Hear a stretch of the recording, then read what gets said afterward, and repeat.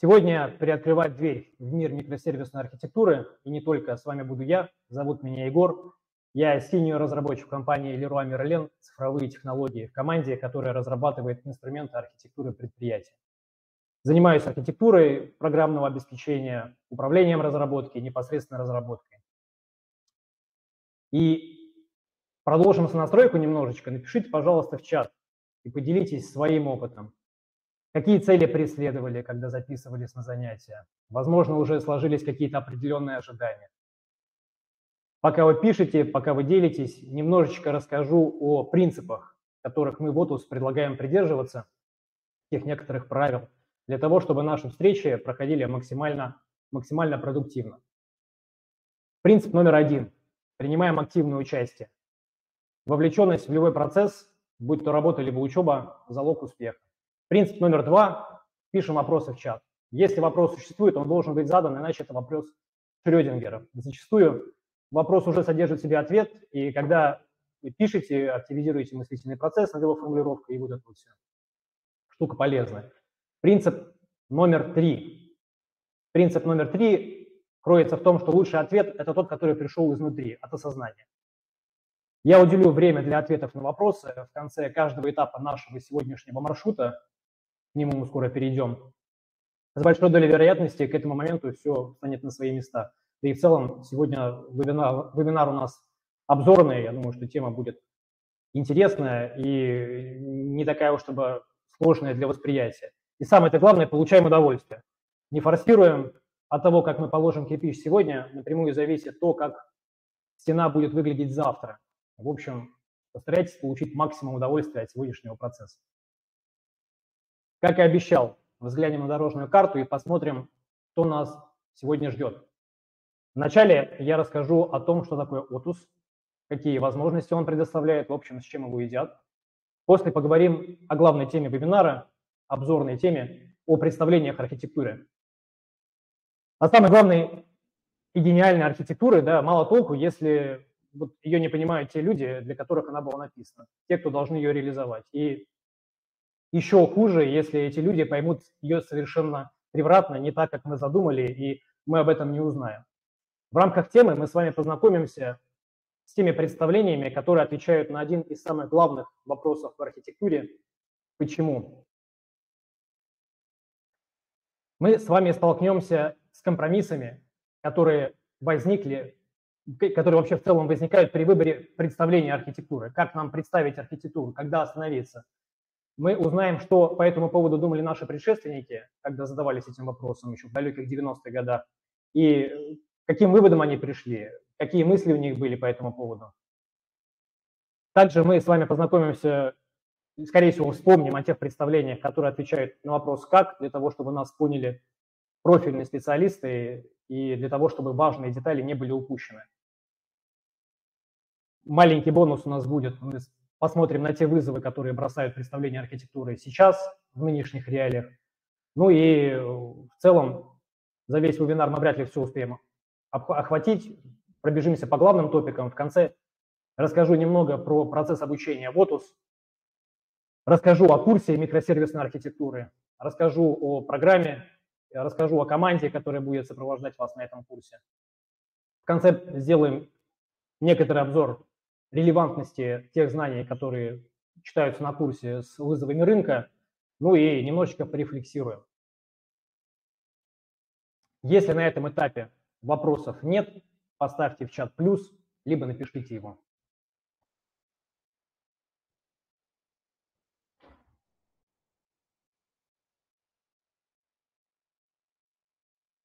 Супер, вижу плюсы.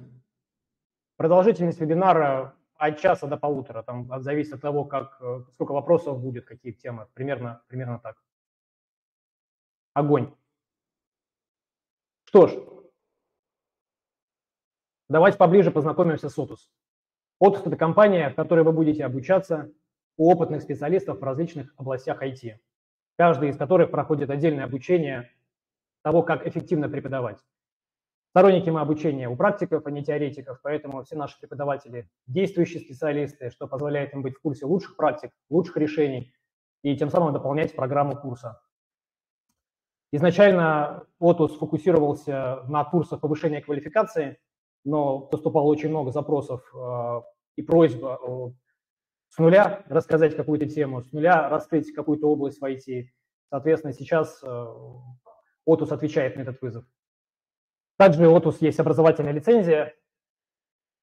Курс – это курсы повышения квалификации, профессиональной переподготовки. Вы сможете получить официальные документы и, в конце концов, сделать налоговый вычет, потому что занимаетесь полезной деятельностью с точки зрения государства, да и не только. Курсы разработаны с учетом требований различных IT-компаний, как больших, так и малых, от junior до senior, от э, лидов до архитекторов. Немного в цифры. Вот очень широкий выбор курсов на различные темы. Как говорил, для специалистов совершенно разного уровня, свыше 600 преподавателей, которые привносят в свои лекции свои кейсы и рассказывают о тех ошибках, которых вы сможете избежать в своей практической деятельности. Вот уже более 7 лет, и за это время обучение прошли аж свыше 38 тысяч человек. Ого, вот так вот новости. А также вокруг Отус э, сформировалось большое комьюнити, которое находит наши материалы довольно-таки полезными, интересными, и, вот, возможно, вы уже стали частью этого большого комьюнити. Это коротко об Отус. Если здесь вопросов никаких нет, то можем перейти к нашей теме, теме нашего вебинара. Поставьте, пожалуйста, плюсик, если вопросов нету. Опять же, либо вопрос. Супер. Ну, давайте начинать. Потихонечку начинать. Вижу много плюсов. Наша задача с вами к концу вебинара понять, как организовать процесс журналирования архитектурных решений и вообще понять, что это за процесс такой, зачем он нужен и нужен ли он вам конкретно в вашем случае. Почему это может быть хорошо, почему это может быть плохо. Ответить на эти вопросы. Рассказать о тех моделях а, представления, верхнеуровневого представления системы, которых будет вполне себе достаточно для того, чтобы себя не утруждать и понимать вообще, когда остановиться. Ну и рассказать об основных или вспомнить об основных представлениях статических и динамических аспектов системы. И прежде чем начать, маленький такой вот вводный, сонастроимся, продолжим сонастройку. Мы будем оперировать следующими понятиями. Системы, как некоторое множество каких-то организованных элементов, которые выполняют одну определенную цель. Притом, неважно, мы были помещены в эту систему, либо эту систему разрабатываем мы.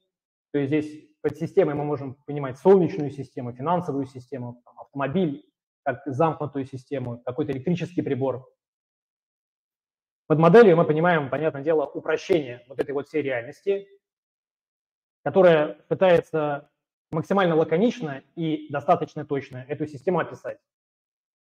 Прямо, грубо говоря, затратили минимум бумаги, минимум букв, но при этом смысл, значения полностью сохраняются и понятны другим людям.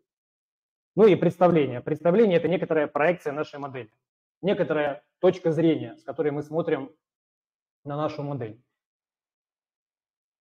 Сегодня будем говорить о представлениях, опять же, на примере взгляда на обычное явление зеленого листа. Мы можем представить зеленый лист с точки зрения там, химии, да, о том, что лист содержит хлоропласты, внутри хлоропластов у нас там хлорофилл, это там зеленый пигмент, поэтому лист зелен. Либо мы можем взглянуть на лист с другой точки зрения, с точки зрения физики и вспомнить про длину волны, про то, что длина волны, там, солнечный, солнечный свет, солнечный луч отражается от структуры там, листа, большая часть э, поглощается, зеленые волны отражаются, падают на сетчатку глаза, поэтому лист зеленый. Вот он пример некоторого представления, по сути, одного и того же явления с разных сторон. Теперь я приведу один из законов архитектуры, который гласит, что почему важнее, чем как. В нашем окружающем мире вообще все является компромиссом. Я думаю, замечали это, когда мы делаем выбор, мы отказываемся от чего-то в угоду чего-то лучшего, но жертвуем чем-то. Опять же, при выборе там, автомобиля, при выборе одежды мы всегда делаем какой-то выбор, исходя из каких-то из каких-то наших, опять же, как называется, атрибутов, которые для нас являются важными. И в архитектуре есть такая штука, которая сокращенно называется ADR, или Architecture Decision Record, запись архитектурного решения, которая, по сути, является фиксацией того, почему мы какое-то решение приняли. Микросервисная архитектура, она привносит огромное количество задач, которые при монолитном подходе таковыми вообще не являлись, они были упражнениями. Такое усложнение жизни должно быть чем-то подкреплено. Мы как-то должны объяснить, почему мы усложняем себе жизнь. В этом и заключается компромисс. Мы усложняем себе жизнь для того, чтобы получить некоторый выигрыш. И этот выигрыш мы ожидаем в будущем, и он является намного больше, намного полезнее для нас, нежели чем те затраты, которые мы примем для реализации той же самой микросервисной архитектуры. Как мы будем решать эти проблемы? Это дело техники, все это разбирается на курсе микросервисной архитектуры, но для начала нам важно это дело все зафиксировать. И вот ADR – это некоторый паттерн, который отвечает на вопрос «почему?». Почему был сделан именно такой выбор? Глядя на там, героя предыдущего слайда, да, мы должны ответить на вопрос, почему предпочел, предпочел наш э, дорогой шарик кеды, нежели чем валенки. У каждого решения должна быть причина. Причина, почему мы сделали именно так. И подход ADR вот этот паттерн ADR, он позволяет избежать компульсивного решения. Почему, опять же, мы прибегли к микросервисной архитектуре? Может быть, решение было сделано уже до нас, может быть, в компании принято э, там, организовывать сервисы данным подходом. А может быть, э, тот человек, который спустил это решение, просто захотел добавить его себе в резюме. Или вы, когда принимаете решение использовать там микросервисный подход, да, чем вы руководствуетесь, почему? Вы взвесили все плюсы и минусы, либо в действительности желание компульсивное попробовать что-то новое, да, при том, что это может быть нерелевантно. Дисциплинированная запись, ведение некоторого журнала, Architecture Decision Log, да, это есть регулярная запись принятых и не принятых решений с учетом контекста, в котором эти решения принимались. По сути, э, вот эти вот рамки, да, или, можно сказать, дисциплина, да, которая нас, по сути, должна освободить, призвана уберечь нас от компульсивного принятия решений. Что же мы записываем вот в этой записи архитектурного решения? Какой должен быть формат? Здесь вопрос сугубо творческий. Да. Самое главное, чтобы этот формат, который, которым вы записываете, чтобы он был понятен вам завтра, чтобы он был понятен вам через там, 6 месяцев, да, через полгода, через год, чтобы вы могли э, как бы восстановить те причинно-следственные связи понять, может быть, что-то не хватало, оглядываясь назад, там, когда вы приобретете новый опыт, может быть, вы что-то упустили, а может быть, нет. И самое главное, чтобы этот формат, он заставил вас задуматься о принимаемом решении. Вот как мы, как мы рекомендуем Votus э, писать вопросы в чат. В качестве отправной точки может послужить формат Mother. Это, по сути, формат э, в Markdown, который можно хранить как architecture as a code, да, то есть рядом, прямо внутри вашего репозитория. Опять же, что там должно быть, да, вот номер и дата решения. По сути, банальная вещь, которая упрощает впоследствии поиск и навигацию по, по всему журналу. Мы же хотим иметь возможность быстро найти, мы же хотим открыть эту запись и понять, э, чем мы руководствовались достаточно быстро. Эта штука, по сути, предназначена для того, чтобы этот процесс упростить. Обязательно описание контекста, в котором решение принималось. Формулировка задачи. Альтернативы, то есть все решения, которые мы видели на тот момент. То решение, которое мы предпочитаем. Притом каждое решение должно быть сопряжено с рисками, с компромиссами, с плюсами и минусами. И обоснование, почему какое-то решение мы предпочли другому. То есть мы должны осознавать эти риски. Ну и в конце концов статус, да, который может говорить о том, что решение принято, не принято, архивировано и так далее и тому подобное. Тут важно понимать, что каждая запись, которая делается в журнале, она предназначена только для чтения. Это технически мы можем ее изменить, но чисто практически мы должны понимать, что мы ее изменять не можем. Если мы, опираясь на какое-то предыдущее решение, поняли, что его лучше как-то адаптировать в наших реалиях, мы создаем новую запись. Мы можем сделать ссылочку, опять же, организовать этот процесс. Организация этого процесса максимально творческий процесс. Он упирается в контекст, вот весь инструментарий, который мы можем это сделать, контекст, в котором мы находимся, те люди, которые будут потреблять эту информацию, ну и какие-то наши личные предпочтения. Опять же, в маленьких проектах это может быть Markdown, тот же самый Mother, да, который можно открыть при помощи, например, того же самого Obsidian.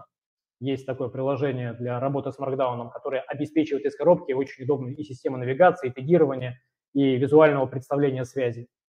Если проект очень большой, там, не состоит он из одного репозитория, а репозиториев много, систем много, ну, здесь э, сторонние сервисы типа Confluence, Wiki, здесь опять же простор для творчества велик. Да, Obsidian отличная штука. Сергей плюсует, тоже нравится мне Obsidian. Вопросы для проверки. Ребят, здесь на самом деле по, по, по, первой, по первому этапу, когда мы обосновываем, почему мы принимаем такое решение, э, такие подходы существуют, давайте здесь немножечко чекап маленький проведем.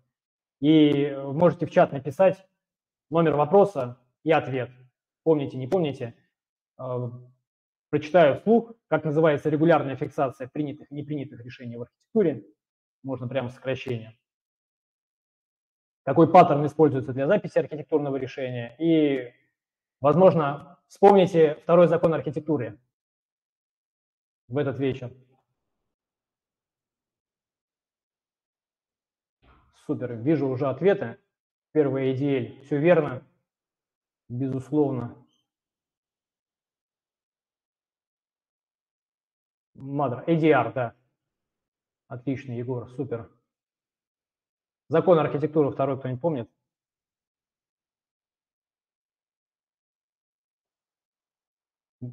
Отлично, все верно. Почему важнее, чем как?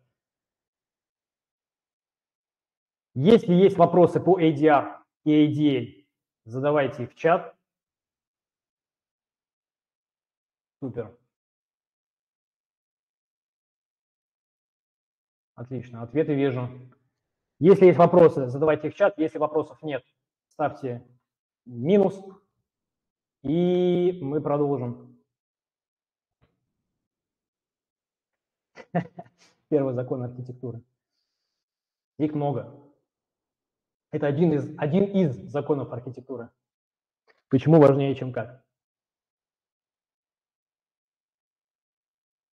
Итак, мы с вами представили архитектуру решения, на которых она строится, с точки зрения контекста, в котором эти решения принимались. По сути, мы с вами представили причины, разъясняющие, почему архитектура такая, какая она есть. Как мы это сделали? Мы организовали хранилище для ADR, сам процесс ведения ADA, обеспечили удобную навигацию, поиск по этому делу, и тем самым сняли с себя необходимость тратить часы на разъяснение причинно-следственных связей я думаю, каждый из вас сталкивался с такой историей, когда надо было объяснить, почему решение такое не цивилизованное, а вот такое, какое оно есть. Ведь можно же лучше. Тем самым мы освободили для себя огромное количество времени для более интересных занятий. Супер, так давайте же перейдем дальше и взглянем на артефакты архитектуры с точки зрения высокоуровневого представления. Мы Рассмотрим архитектуру, представление архитектуры с высоты птичьего полета. Будем постепенно погружаться и увеличивать масштаб. Наша задача как архитектора – преобразовать требования к проекту в четкий конкретный план его реализации. План это должен быть понятен широкому кругу лиц, нашему заказчику, стейкхолдеру, инвесторам, возможно. План должен быть понятен техническим специалистам, это некоторые лидеры направлений, работу которых нам необходимо скоординировать. На примере, опять же, МКС строит совершенно разные модули, совершенно разные люди, совершенно разные команды. В конце концов, понятное дело, когда все эти модули там, поднимаются в космос, мы должны их без труда собрать. Работа этих команд должна быть скоординирована. Или другая аналогия, копаем тоннель, в конце концов, э, две команды должны встретиться вместе. Где-то детали можно опустить, где-то без деталей никак не обойтись. Где-то интересно взглянуть там профиль, где-то интересно взглянуть в анфас. В общем, потребности у всех совершенно разные. И тут перед нами возникает очередной компромисс. С одной стороны, мы можем потратить минимум усилий, да, можем обладать э, какими-то базовыми знаниями там, геометрических фигур на, на уровне средней там, группы детского сада. Посмотрим это на примере там, эскизов либо нам необходимо приложить какое-то усилие, да, и разобраться в каких-то нотациях, возможно, в каких-то процессах, которые приняты в компании, как ведутся архитектурные документы. Там. То же самое идея, он требует от нас дисциплины некоторой. Опять же, с одной стороны, полная свобода действий и изложение мысли. Я художник, я так вижу, и понять меня могут не то, что лишь все. Либо мы все-таки внедряем некоторую бюрократию, некоторую дисциплину и думаем над решением вытекающих проблем из этого, да, и при этом на выходе получаем более четкий результат, который могут понять более, большее количество людей. Вот здесь вот э, на слайде да, можно видеть некоторую такую прямую, которая показывает зависимость формализма и вот двух других характеристик. Простоты внесения измерений, изменений и масштабирования нашего решения на более, на более серьезные, на более большие проекты. И здесь, куда бы мы в эту точку не тыкнули, везде найдется какой-то формат, паттерн, подход, который будет предлагать свое распределение между вот этими двумя характеристиками. Storytelling, да, вот это один из форматов представления. Да, мы должны рассказать каким-то людям, вообще опустив технические детали для того, чтобы они нас максимально поняли. Может быть, метафора, когда, когда нам надо за пять минут рассказать какому-то гипермега занятому человеку о системе, да, чтобы он принял свое, свое верное решение. Те же самые эскизы, которые любят рисовать архитекторы. ADL, да. Мы с вами куда бы ни кинули, куда бы ни кинули точку, везде найдется какой-то вот формат, какой-то паттерн. И вот одни только эскизы, мы вот сейчас на них посмотрим более детально, они в свою очередь предлагают отдельные модели, как эти эскизы строить, собственно. Как, что отображать, какая нотация должна быть, как их организовывать. И в целом эскизов-то для верхнеуровневого представления вполне себе достаточно. Это некоторые двухмерные плоскость, двухмерное пространство, два измерения у нас есть. Мы от одномерного там, плоского текста либо линейной презентации выходим на n плюс, э, выходим на плюс, в пространство плюс один, больше видим, больше сможем охватить. Супер. Как бы деталей нам не особо много там нужно отобразить, потому что все-таки э, спектр лиц, которые будут читать, довольно-таки широкий. Набросать эскизы можем быстро, не обязательно там кончать э, художественную школу. Да, достаточно, опять же, стрелочки, квадратики. Умеете рисовать бочки, человечков, облачка, ну это вообще просто огромное будущее. Скетчи помогают понять большую картинку, помогают понять, как будет создаваться продукт. Так давайте с вами и порисуем. Ну, на самом-то деле рисовать мы с вами не будем. У нас не так, чтобы много времени для, для рисунков мы с вами взглянем на то, как этот э, вообще процесс может выглядеть, как могут выглядеть эскизы. И э, в целом в Otus мы во время обучения часто прибегаем к подходу кейс-стадии, когда задача, основана на реальном примере, формулируется таким образом, чтобы подсветить и сделать акцент на какой-то изучаемой теме. Сейчас мы возьмем один из таких кейс-стадий, связан он был с системой финансовых рисков, и попробуем взглянуть на него вот с точки зрения нашей темы, с точки зрения представления архитектуры. Посмотрим на те проблемы, с которыми столкнулись архитектора в 90-х годах, буквально на заре софта. Не будем вдаваться в детали этого кейса, да, система финансовых рисков, в общем. Мы взглянем на изображение одного и того же. Одного и того же а, глазами разных начинающих архитекторов. Вот у нас пример номер один. Ну, глядя на него, вон видный квадратик RS, да, наверное, это что-то связано с риском, наверное, с системой. Но больше лично мне с этой картинки что-либо сказать сложно. Во-первых, непонятно, как элементы связаны между собой. В целом похоже на перечисление каких-то технологий. Unix, Windows, там, SQL, вон там какой-то MS SQL сервер, да, какие-то, что там, GBOS инстанс какой-то. Ну, в общем, вопрос, поймет ли сам автор на следующий день, что он здесь нарисовал, поймут ли люди его окружающие, спорный, вопрос спорный. Лично, опять же, мы смотрим на, на эскизы с точки зрения того, чтобы они были понятны широкому кругу лиц. Вот здесь вопросы возникают точки зрения, опять же, широкого круга лиц. Другой пример. Здесь уже какая-то слоистая структура видна, чуть больше бочек нарисовано, да, каких-то там хранилищ данных. Опять же, вот risk calculation видно, но опять же, какие связи? Что значит каждый конкретный квадрат? Вопросов, в общем, вопросов много. Другой вариант той же самой системы.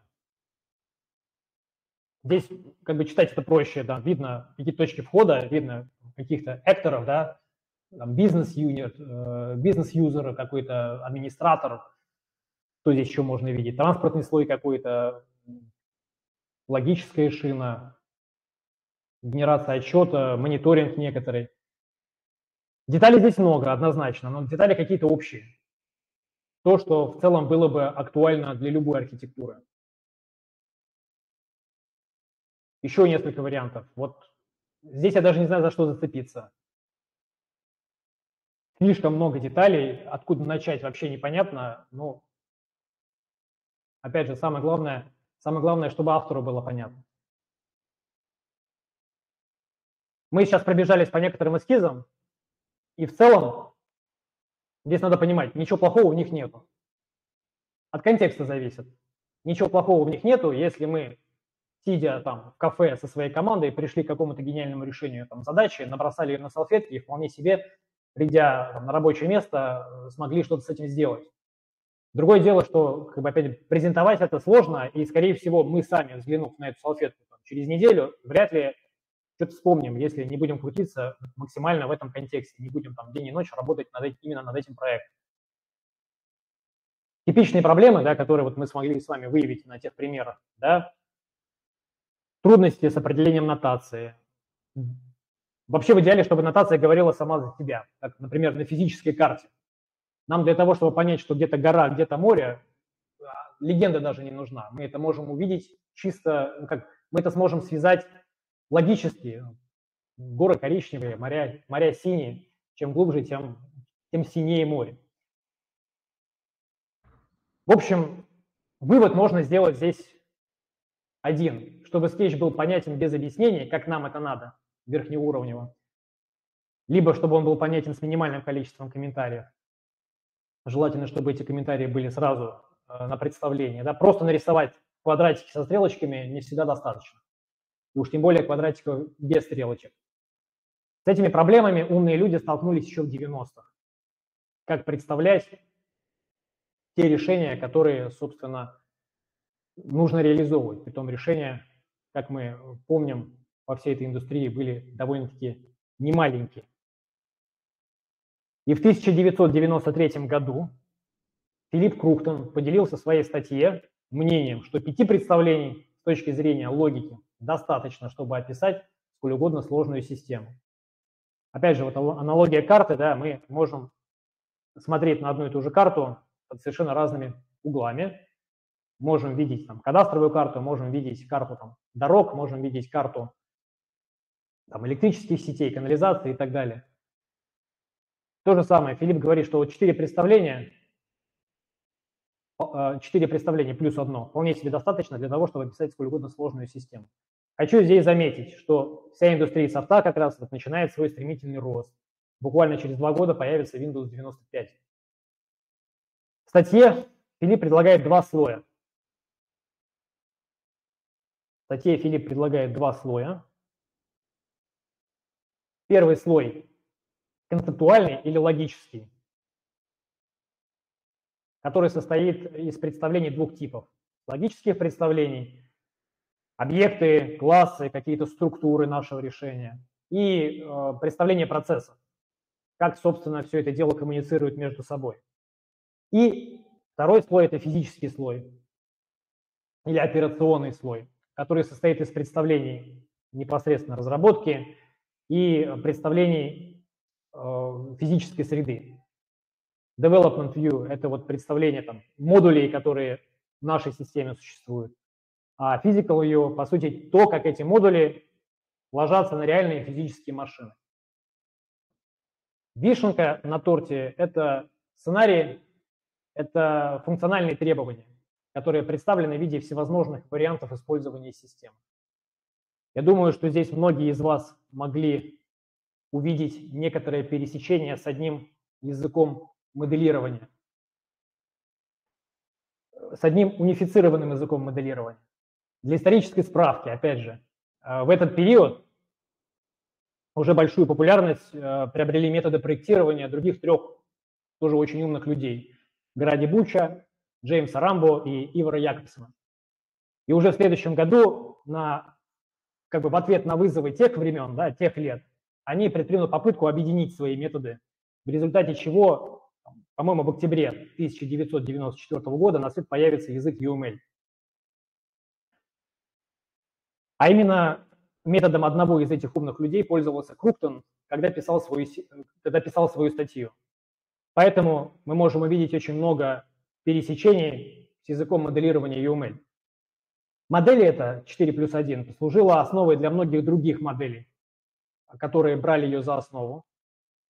В целом модель это доказывает свою состоятельность и эффективность и сегодня, особенно в разрезе каких-то конкретных сервисов, когда мы хотим их рассмотреть детально, и это для нас является критически важным. Их архитектура является критически важной. Но надо понимать, что прослужила она да, как бы и служит уже, по сути, там 22 года, только лишь, только лишь через 22 года появились а, новые, э, новые представления, которые было призвано ответить на те вызовы, которые, собственно, стало бросать вот это вот микросервисные подходы. В 93 году в основном все думали, что монолиты будут править бал. Э, вообще веб был не настолько сильно развит. И только лишь в 2015 году, как раз когда микросервисы стали набирать популярность, стали количество вот именно архитектур микросервисных стало расти, они стали усложняться, и Саймон Браун в 2015 году предложил немного другой подход. Сложно стало смотреть на это все э, вот этими представлениями 4 плюс 1, сложно было, отобра... сложно было отобразить, сложно было читать. И он сказал о том, что нам достаточно представить архитектуру с точки зрения абстракции, а не логики. В конце концов, архитектуру читают люди, больше читают, чем пишут. Ну и, соответственно, давайте делать ее для людей. Кто будет разбираться в нотациях? Нотация не особо важна, говорит Саймон. И только лишь понимание абстракции, которую мы отображаем на, на нашей схеме, только лишь это нам нужно знать. В дополнение сам Саймон выделил четыре уровня, а, четыре уровня вот этих вот абстракций. Каждая абстракция начинается на букву С латинского алфавита, ну и погружаясь дальше на следующий уровень абстракции, там раскрываются больше детали реализации. Первый уровень – это уровень контекста. Первоначальное приближение нашей системы показывает то, как система связана с внешним миром. Дальше уровень контейнеров – это какие-то что это под собой вообще подразумевает? Это некоторая сущность, которая разворачивает приложение, либо хранит какие-то данные. По сути, это микросервисы в рамках нашей микросервисной архитектуры, связанные с ними база данных и так далее. И в действительности и на практике первых двух уровней вполне себе достаточно для того, чтобы вот минимально достаточно и максимально точно верхним уровнем описать микросервисную архитектуру.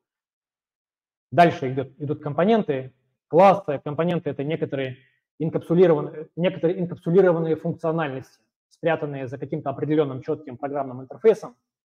По сути, это какое-то множество классов, модулей. Если это у нас какой-то функциональный язык программирования, набор типов и функций. Классы – это некоторые детали реализации. Уже шаблона проектирования, какие-то механизмы и классы, которые эти механизмы, которые эти шаблоны реализуют. Уже на протяжении 10 лет, 2015 года, эта модель является золотым стандартом в описании микросервисных архитектур, минимально достаточным для того, чтобы точно трактовать любую систему. На данном этапе с высоты птичьего полета есть ли какие-то вопросы? Давайте попробуем сделать маленький чекап и попробуем ответить на вопросы. Так, вопросы вижу в чат. Сейчас я оглашу. Так, как с помощью C4 описать интеграцию со смежными системами? C4 подходит только под описание внутренности одной системы, пусть и микросервисной. А уровень контекста.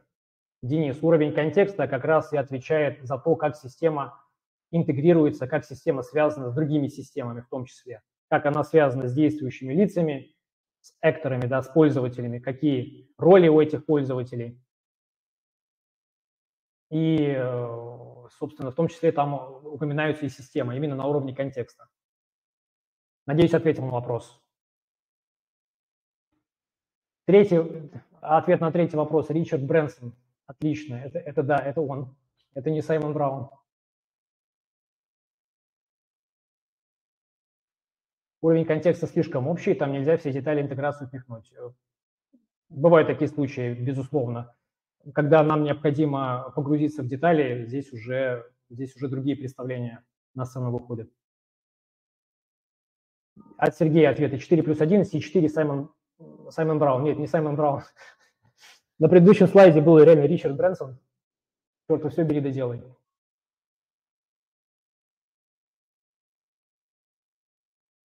Так, если есть вопросы по моделям верхнеуровневого представления, пишите их в чат. Если вопросов нет, ставьте минус.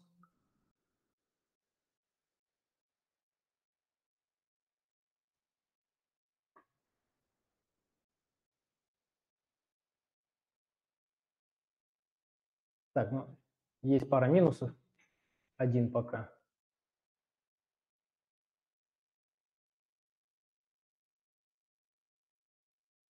И 4 модул. Пом. Не совсем понял комментарий, Сергей, если сможете уточнить.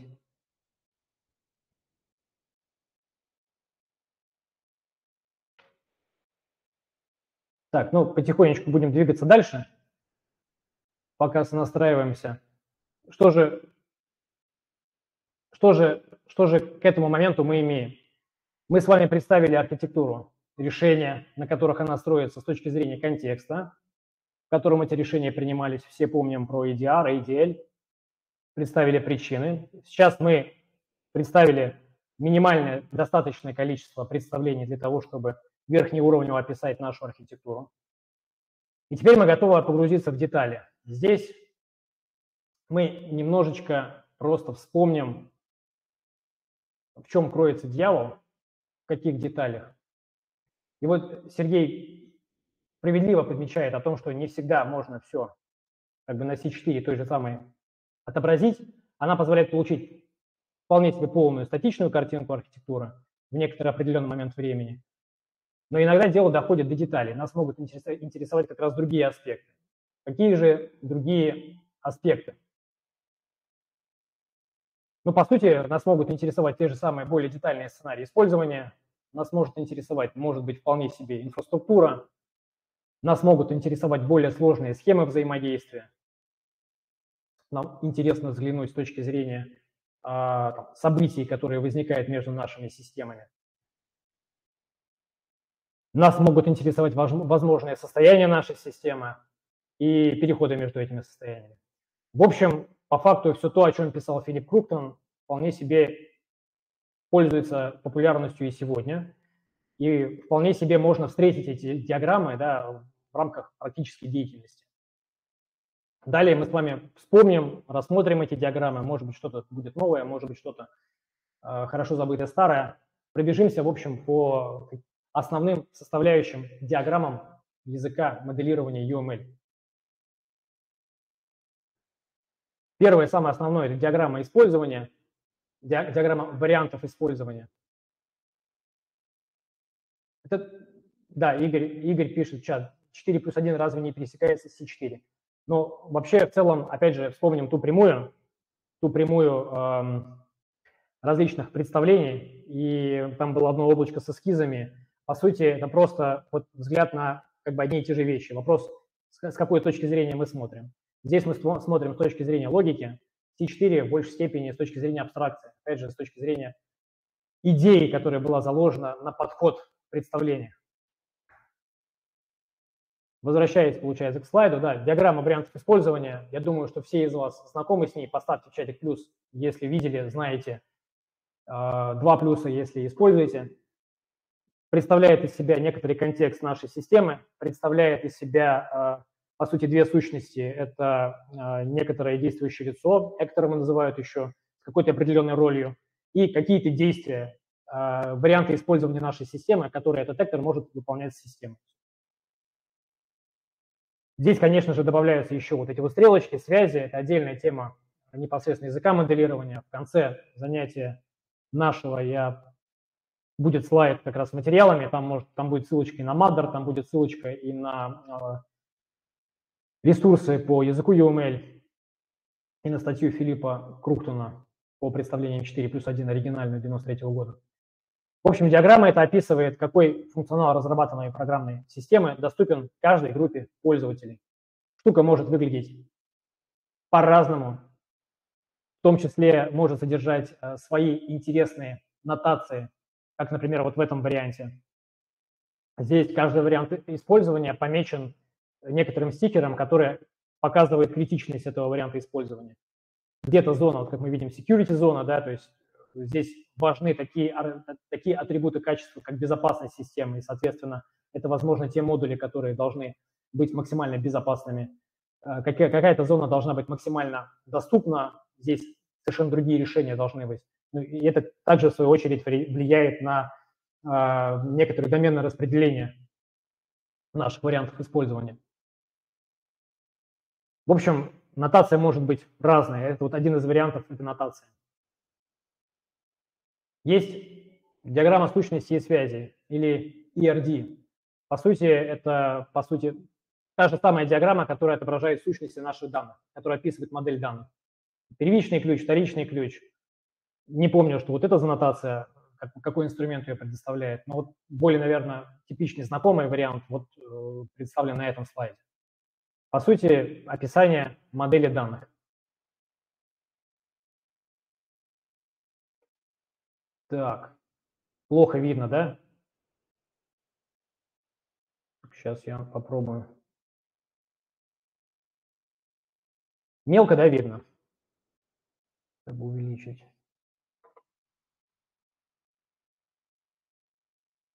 Сейчас посмотрим.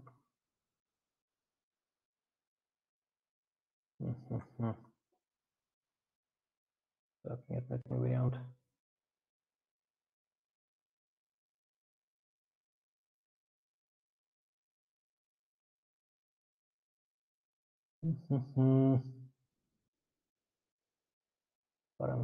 Так, так, так.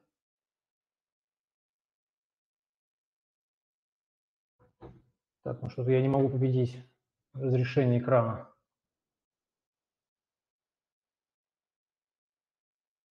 Так, ладно. Э, ну, сейчас там, это просто здесь, возможно, слишком большие картинки. Думаю, дальше будет лучше видно.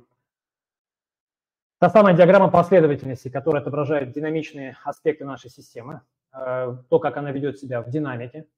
Опять же, ставьте плюс, знаете про такую штуку, как секвенс-диаграммы, ставите, ставьте два плюса, если рисовали такие штуки. Диаграмма, э, на которой также изображаются части нашей системы, в том числе э, роли, действующие лица, экторы, да, вот в виде человечков, в виде квадратов отображаются вот как вот здесь вот в виде квадратов отображаются, собственно, наши системы. А, их может быть несколько. Опять же, вертикальная черта отображает некоторый, а, некоторый таймлайн жизни, и э, диаграмма отображает то, как общаются, как, как обмениваются сообщениями, собственно, элементы нашей системы. Вот, э, опять же, как это может выглядеть?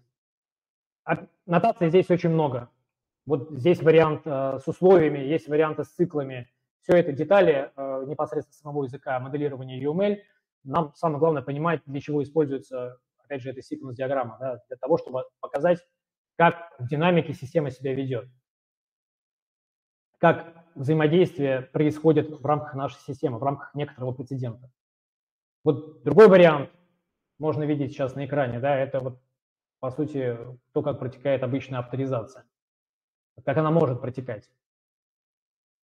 Опять же, есть некоторое мобильное приложение, происходит событие, событие начинает жить в рамках другой системы, и, в общем, дальше мы видим весь обмен сообщениями, которые происходят в рамках вот этого прецедента, как простая авторизация. Также у нас могут быть диаграммы развертывания. Опять же, на курсе микросервисной архитектуры разбираются и разбираются паттерны и стратегии вообще раз, э, стратегии организации инфраструктуры для микросервисов, да, но разбирается такой инструмент, как Kubernetes, э, Docker, рассматриваются они с птичьего полета, да и не только, там практические занятия тоже есть. Иногда бывает э, такая история, когда мы не можем, не можем использовать какие-то платформы да, для развертывания. Нам необходимо вообще понимать, как наши модули э, ложатся на какие-то физические машины, будь то реальные, будь то виртуальные машины. Какие-то физические узлы. Сколько экземпляров должно быть для того, чтобы приложение, собственно, работало, где и каких. Другой вариант тоже большой, детали вдаваться не будем. На этом варианте э, идет разбиение на зоны, э, зоны безопасности, да, расположение где-то интернета, где-то область клиента, где-то внутренняя зона. Также здесь э, можно видеть нотацию из C4, да, вот эти вот голубенькие квадратики. Но это вопрос, опять же, вопрос вкуса, где, где и что, где и как рисовать. Диаграмма развертывания за редким исключением, сам не встречал инфраструктурные диаграммы. Тут уже доходят до топологии сети, о том, как, э, где какие-то конкретные машины стоят, в каких там стойках и так далее, какие айпишники, какие там фаерволы, какие маршрутизаторы и т.д. и т.п. Другие варианты инфраструктурных диаграмм.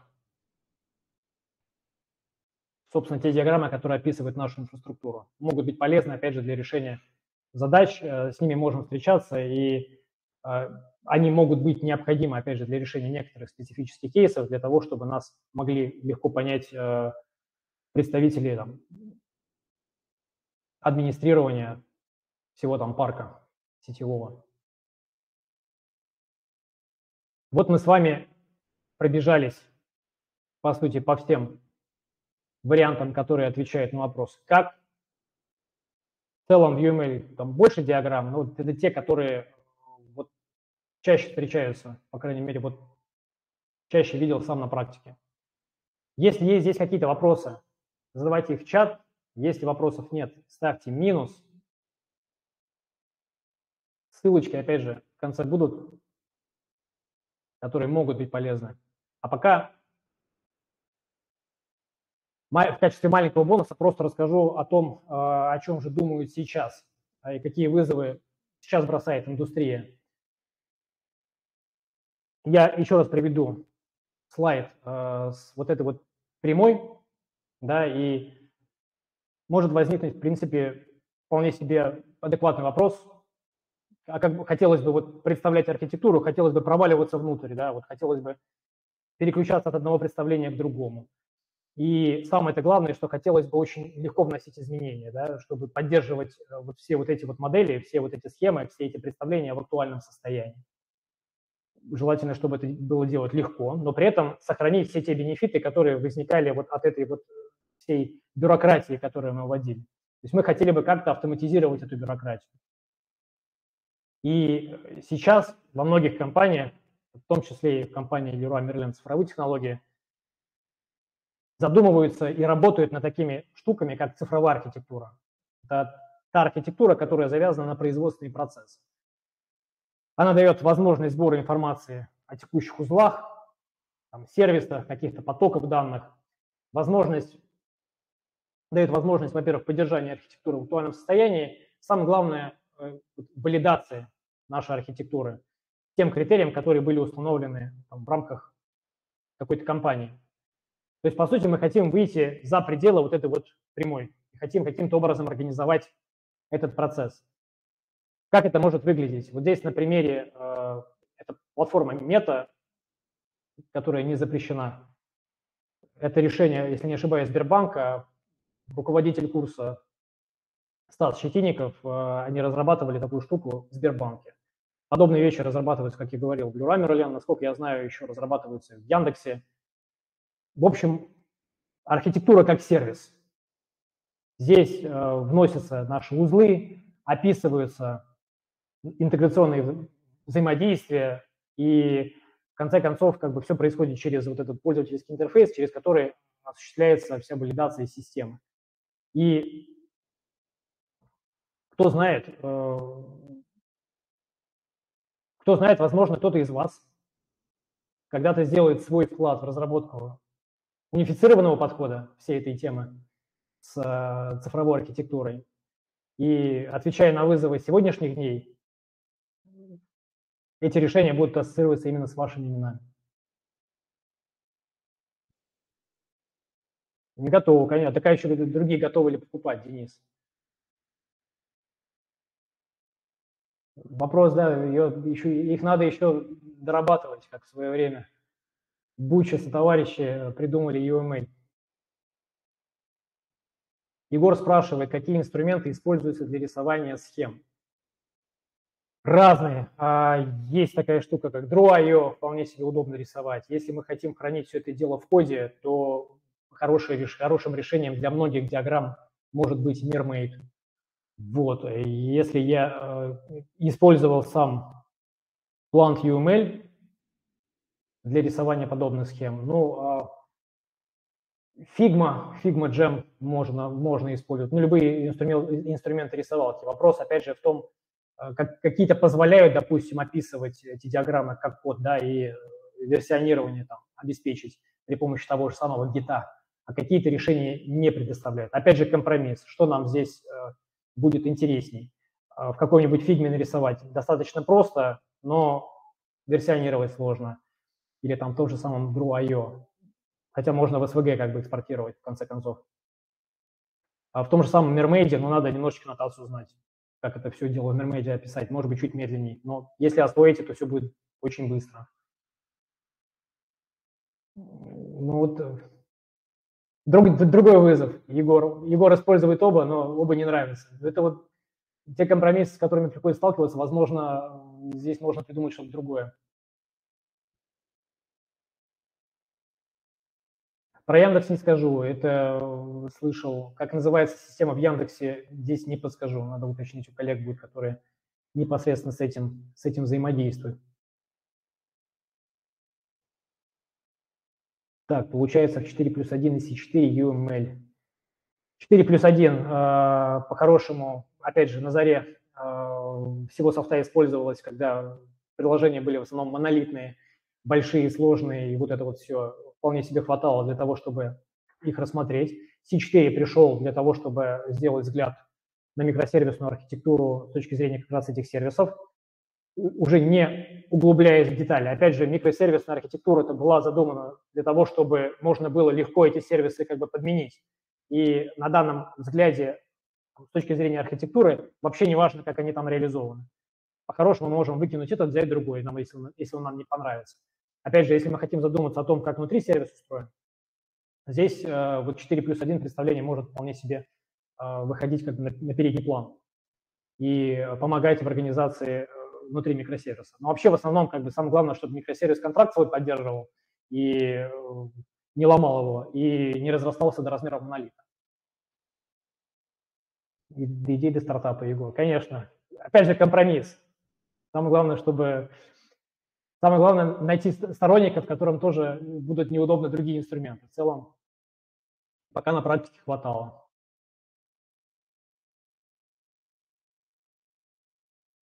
Так, мета – это что-то сильно большее, чем оцифрованный каталог IT-систем с их характеристиками. Вообще это как, это как сервис, как, как тот же самый Kubernetes, в котором крутятся реальные какие-то приложения. Э, архитектура как сервис, по сути, предоставляет видеть прямо конкретные, чуть ли там не инстансы, их там характеристики и отображать э, архитектуру под разными срезами средства там интеграционные, видеть, с чем взаимодействует приложение, какие контракты там описаны и так далее и тому подобное. И э, видеть, какие конкретные машины, какие мощности, да, вот, вот эти вот варианты раз, развертывания, диаграмма развертывания, о которых говорили раньше в представлениях UML 4 плюс 1 в том числе. Да, это вот как раз веяние текущих дней, да, те вызовы, которые есть сейчас, на которые нужно отвечать или можно ответить, да, если это, скажем так, вызывает, вызывает какое-то воодушевление, восхищение этими всеми историями. У нас в Мираме район вызывает. Эта штука кажется интересной, и кажется, что это будет очень тоже полезно и нужно. То же самое в Сбере. Что ж, если на этом этапе вопросов нет, то в целом можем сейчас потихонечку э, переходить э, к вопросам, опять же, про, связанные с Lotus. Расскажу сейчас, как я обещал, о том, как протекает процесс обучения в Lotus, немножечко познакомлю с курсом, программой, ну и будем двигаться дальше по, по нашему намеченному плану. Касаемо процесса. В Lotus мы занимаемся по вечерам, в целом начало, вот так же, как и сегодня у нас с вами, в 8, а, заканчивается обычно там, 9.30. Материалы занятий, презентации, запись вебинара, какие-то дополнительные материалы могут быть. Остаются с вами навсегда в личном кабинете, который в заводится. Если что-то непонятно, то когда вы присоединяетесь э, к группе, создается отдельный чат группы, там присутствуют преподаватели, и, которые смогут ответить сразу прямо на ваш, на, на ваш вопрос напрямую, без всяких посредников. Обучение подразумевает 4 академических часа, ну и от 4 до 8 часов на домашнюю работу. Здесь уже зависит от вас. 4 вполне себе достаточно, 8 ну прям вообще хорошо. Программа курса обновляется, дорабатывается каждый запуск, чему способствуют ваши отзывы, которые мы просим оставить после каждого занятия. Ну и теперь давайте я вам покажу, покажу, познакомлю немножечко с, с, с программой курса. Видно ли экран? Вот здесь, здесь я могу на него влиять.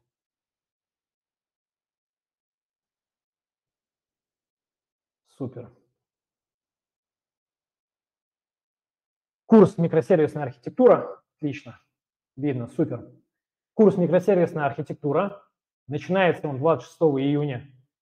Длится 5 месяцев. Курс состоит из шести модулей. По результату первого модуля вы научитесь рационально отвечать на вопрос, а нужна ли вам микросервисная архитектура. Ну и самое главное, сможете обосновать свой ответ. Здесь мы знакомим вас с основными компромиссами, которые возникают в микросервисных архитектурах, которые возникают в микросервисном подходе. Опять же, вспоминаем о том, что то, что было раньше в монолитном подходе упражнением, теперь становится задачей. В первом модуле разбираются такие базовые задачи, как тестирование в микросервисной архитектуре, авторизация. Последующие модули посвящены каждому компромиссу в отдельности модуль, связанный с инфраструктурой. Здесь разбираются инфраструктурные паттерны в целом, то есть как это, мог, как это может быть реализовано. И очень много времени посвящено таким технологиям, как Kubernetes, его сущностям, а, докеру, и холму и так далее и тому подобное. Это все, что связано с инфраструктурой. И инфраструктурой как сервис. Дальше. Отдельный блок посвящен observability, инструментом наблюдаемости. Здесь вы узнаете о всех проблемах наблюдаемости, которые есть в микросервисной архитектуре, о возможных тактиках решения этих задач, а, о компромиссах, которые остаются и которые важно учитывать, среди которых все-таки придется выбирать. Четвертый модуль посвящен как раз а, коммуникационным паттернам, то, как модули взаимодействуют, или интеграции, как модули интегрируются друг с другом.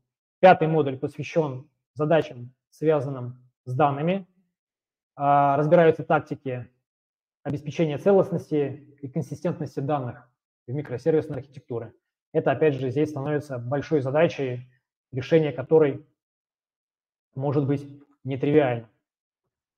Ну и последний модуль по порядку, но не по значению, это проектная работа. Одно дело посмотреть, одно дело послушать, другое дело как бы ручками потрогать.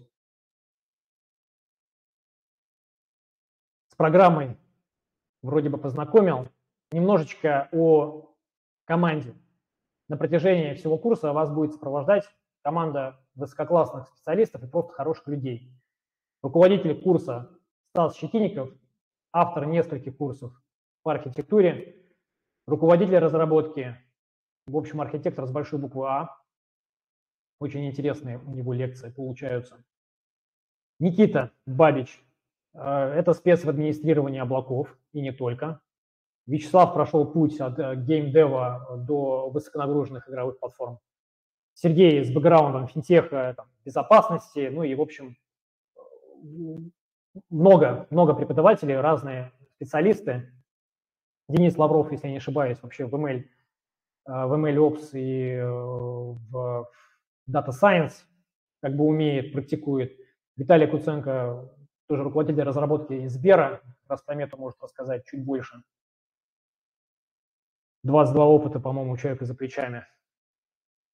В общем, много руководителей разработки различных, из различных компаний. Java Ninja, Евгений Непомнящих вообще начинал программировать э, контроллеры в далеких, в далеких 90-х годах еще, по-моему.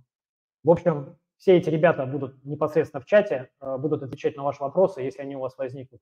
Соответственно, каждый сможет дать более глубокую экспертизу с точки зрения того опыта, с точки зрения того бэкграунда, который есть у него за плечами. Здесь вроде бы все рассказал. Сейчас я переключусь обратно на нашу презентацию. И мы будем двигаться. Видно ли сейчас презентацию?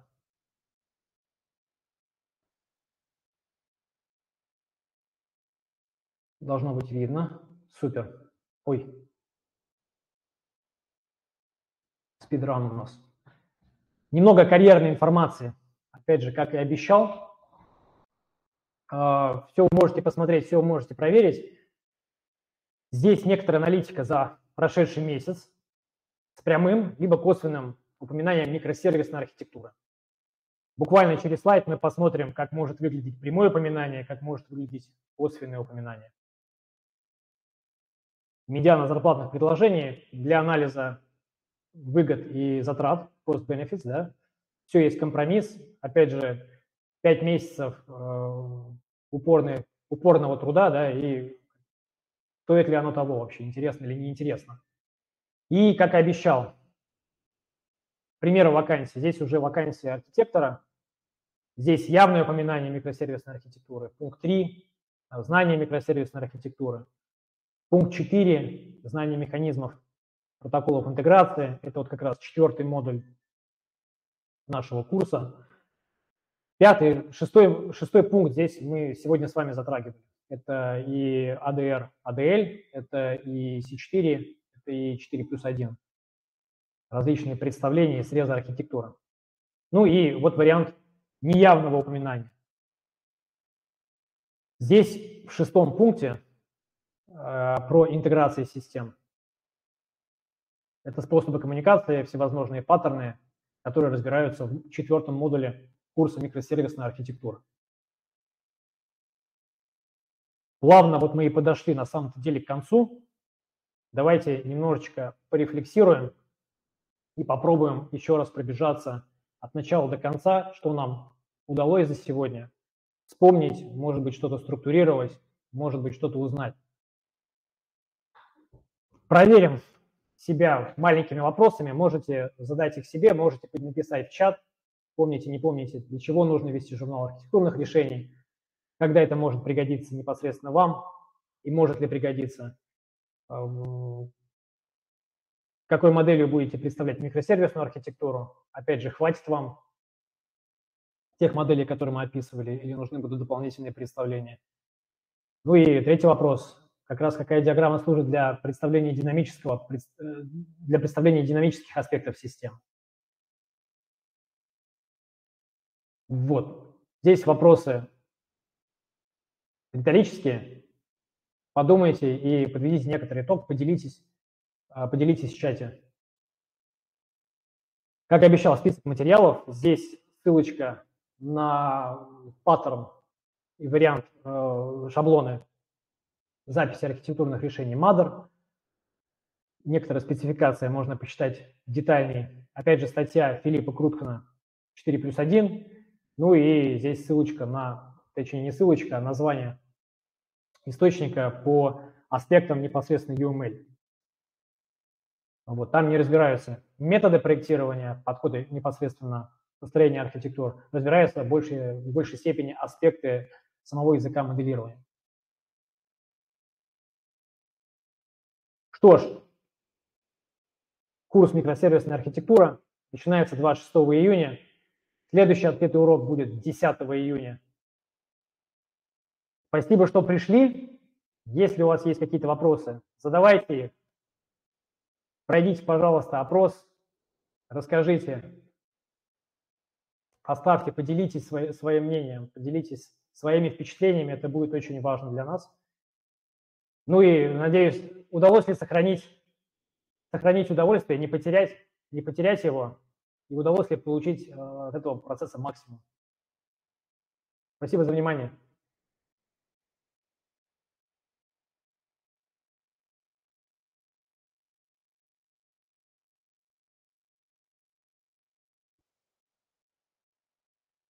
Супер. Желаю всем хорошего дня. Если вопросов нету, мы еще подождем буквально минутку. Если вопросов нету, то всем хорошего окончания недели, хорошей пятницы и хороших выходных. Всем пока.